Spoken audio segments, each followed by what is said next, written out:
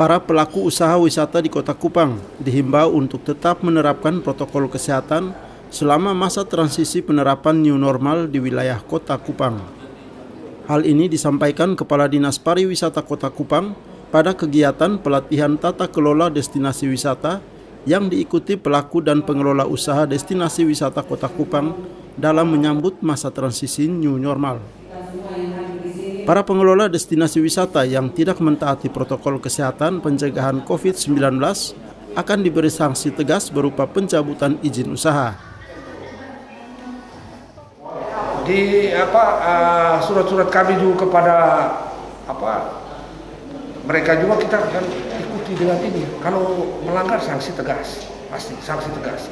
Jangan sampai dengan kesempatan yang dibuka ini menjadi runyam lagi karena ada muncul klaster baru.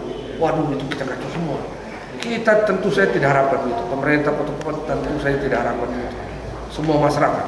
Oleh karena itu kita harus dipantau, dimonitor, continue supaya mereka uh, mereka patuh terhadap uh, protokol COVID. Sanksi tegas yang dikeluarkan pemerintah Kota Kupang melalui Dinas Pariwisata ini agar dapat memutuskan mata rantai COVID-19 terutama di lokasi wisata. Diharapkan juga para pengelola usaha penginapan seperti hotel dan homestay tetap mematuhi protokol kesehatan yang berlaku. Kalix Taus, Kompas TV Kupang, Nusa Tenggara Timur.